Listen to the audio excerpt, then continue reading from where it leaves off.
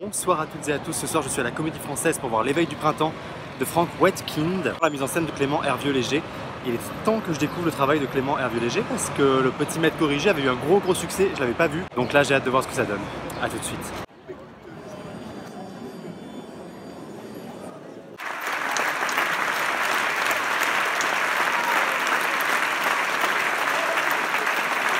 Bon, c'était un petit peu longué cette histoire-là quand même.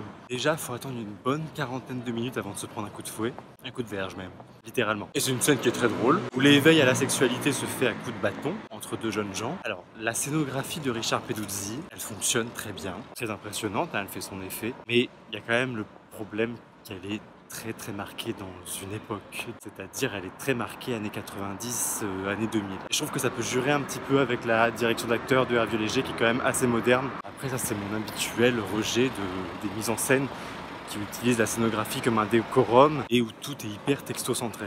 Bon, et en même temps, je dis ça, et euh, quand je vois du Thiago Rodriguez où la scénographie, je la trouve immonde, mais qu'il n'y a que du texte, euh, je trouve ça génial, donc euh, bon, ça marche pas à chaque fois. Par contre, ce qui est drôle, c'est que je viens de commencer un bouquin qui s'appelle Chaque homme dans sa nuit de Julien Green et qui est à peu près sur les mêmes thématiques, c'est-à-dire euh, l'éducation très stricte religieuse, toute idée, toute évocation de la sexualité est bannie et des ravages que ça peut causer et des conséquences sur sa sexualité plus tard. En même temps, je dis ça, j'ai lu 30 pages pour l'instant. J'étais assez content de découvrir ce texte que je connaissais pas. Il y a quand même plein de choses intéressantes dedans. Et de manière générale, je trouvais qu'il y avait quand même des longs passages assez bavards. Les passages des jeunes gens qui parlent avec toute leur naïveté, avec leur manque de connaissances. Quoi que naïveté, pas donc ça.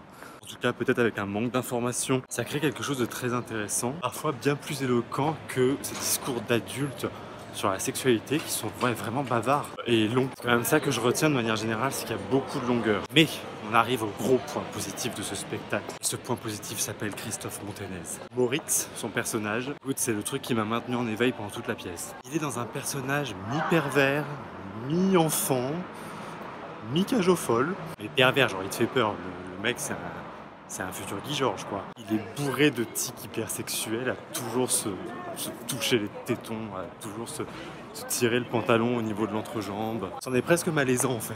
Mais il le fait super bien, c'est super drôle. Et dans l'ensemble, comme ils jouent quand même tous des personnages qui ont 13, euh, 14 ans, 15 ans, et qui ont tous pas du tout 13, 14 ans, 15 ans, on aurait pu facilement tomber dans la caricature, et non, pas du tout. Pour le coup, ça c'est vraiment le point fort, c'est qu'ils ont su retranscrire cet âge sur scène sans tomber dans la caricature de je joue un petit enfant. Donc dans l'ensemble, je suis quand même un petit peu déçu. Je m'attendais à quelque chose d'un petit peu plus transgressif, un petit peu moins propre, un petit peu plus sale, surtout pour un texte qui se veut transgressif en son temps. Aujourd'hui, clairement, il est plus du tout transgressif ce texte, donc euh, si on veut lui apporter cette touche-là, il, il en faut un peu plus qu'une petite branlette sur scène, quoi. une branlette très pudique en plus. Mais par contre, j'étais quand même assez content de retourner à la comédie française. J'y étais pas retourné depuis la règle du jeu. C'était il y a... C'était au du blond platine. Mon dieu. Allez, à bientôt.